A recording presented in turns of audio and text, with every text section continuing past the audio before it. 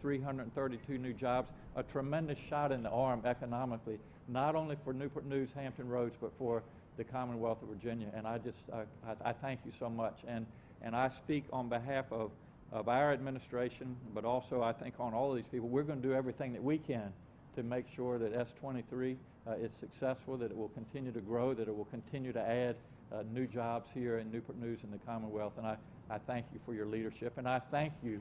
doing business in the Commonwealth of Virginia